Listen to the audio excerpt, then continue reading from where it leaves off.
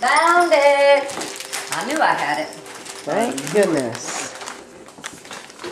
All right. So, Randy's putting that up, and I'm gonna put on, I need a little bit of um, Italian seasoning, Rand.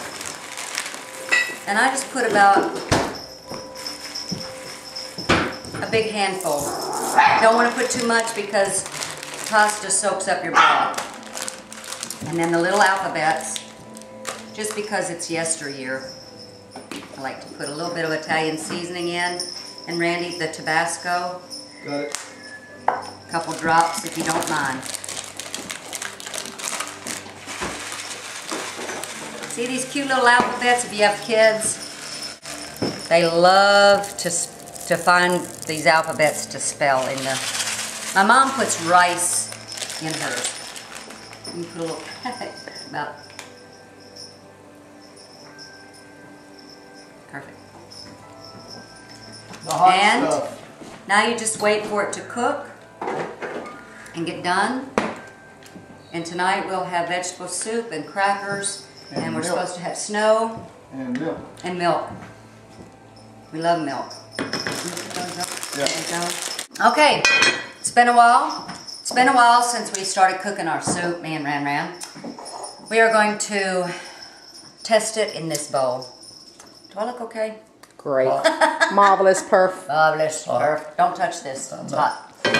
We're gonna look at this wonderful soup we've made. I could only smell it. Oh, it's so good. We're gonna put a little bit in here. A little color. Look at this. Is that not a beautiful bowl of soup? And we're gonna taste it. And always taste it with.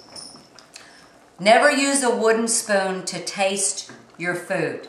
Cook with it, but the wood soaks up flavors. You can only get the real taste with a metal or a shell spoon. Is she not smart or Very. what? Am I smart or what? Let's see. You get the first taste? No, you. Okay, fine.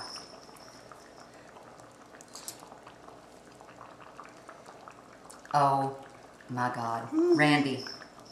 Oh my God. All right, you got to blow your own bite. All right. That's sounding really good. Be careful because really, I promised Daddy it's really, really hot, okay? Okay. No, Seriously. But it's so good. And it could be the best of life. Great. So we're going to sign off for tonight. We're going to eat our soup by the fire. And thanks for tuning in.